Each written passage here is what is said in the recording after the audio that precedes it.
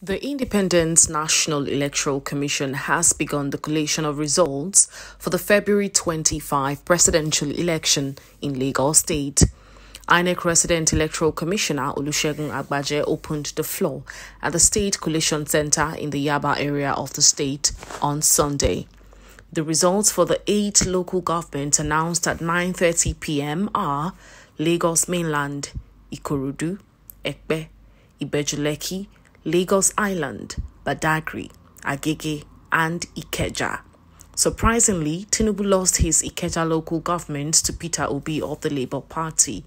In Ikeja, Peter Obi of Labour Party polled 30,000 votes to beat Tinubu who got 21,000 votes. Atiku Abubakar of the PDP and his NNPP counterpart, Rabiu Musa Kwankwaso trailed with 2,280 and 337 votes respectively.